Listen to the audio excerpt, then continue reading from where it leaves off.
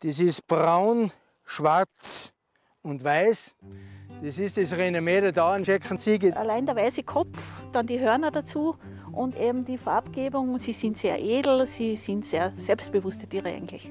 Die Ziegen haben einen ganz eigenen Charakter und wer Ziegen züchtet, insbesondere Dauernschecken züchtet, macht das mit Leib und Seele. Mythos Tauernschecken über die Rettung einer geheimnisvollen Ziegenrasse. Am Sonntag, 3. April um 16.30 Uhr in ORF 2.